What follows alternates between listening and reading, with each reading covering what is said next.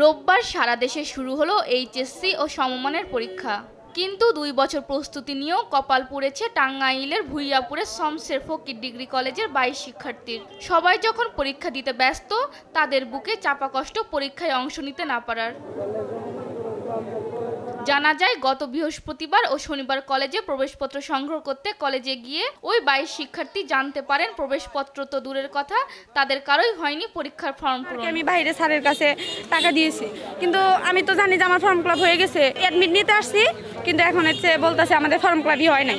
আমরা বাইশ জন ছাত্রছাত্রী আমাদেরকে প্রিন্সিপাল কেন জানাইলো না? তাদের অভিযোগ কলেজ কর্তৃপক্ষ পাঁচ থেকে আট হাজার টাকা দাবিতে অনড় থাকায় সাবেক কেরানি ও বর্তমান বাংলা প্রভাষক লোকমান হোসেনের আশ্বাসে পাঁচ হাজার টাকা করে জমা দেন তারা। ফর্ম পূরণও নিশ্চিত করে তারা। প্রতিদিনই আমি কল দিতাম প্রতিদিনই বলতো যে হ্যাঁ না হয়েছে এগুলা হয়েছে ক্লিয়ার হয়েছে তুমি আসো এতদিন আসো। ফার্স্ট প্রতিদিনই আইসি প্রতিদিনই কিছু না কিছু বাহানা দিছে। দেওয়ার পরে এইভাবে অনেক টাকা নিচ্ছে আমাদের ভবিষ্যৎ অন্ধকার আমাদের ভবিষ্যৎ কি আর আমাদের তো গরিব মানুষ আমাদের তো বারো বারো বছরের লাইফটা শেষ হলো আর কি।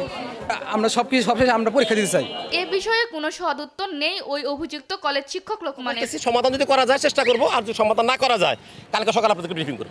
এটা এটা- কালকে সকালে ভাই ব্রিফিংটা করব। বাইশ শিক্ষার্থীর পরীক্ষায় অংশগ্রহণ অনিশ্চিত জানিয়ে অধ্যক্ষ জানান তাদের ফর্ম পূরণের কোনো তথ্যই জানে না কলেজ। অভিযুক্ত শিক্ষক পূর্বের ন্যায় জালিয়াতির আশ্রয় নিয়েছে বলে দাবি তার। তার বিরুদ্ধে এখন পর্যন্ত দুইটা শুকর যাওয়া আছে। তারপরে এই ঘটনার জন্য আবার জিবি মিটিং হবে। মিটিং হওয়ার পরে তখন তাকে ডাকবে তুমি কি এই ঘটনাটা কেন ঘটালা?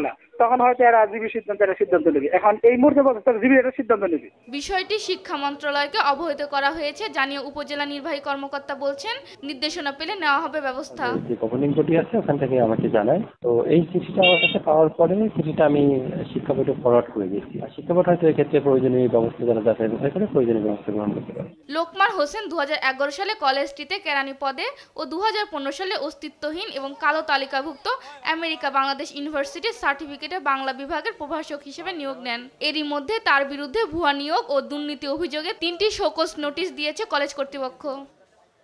News desk, Desh TV.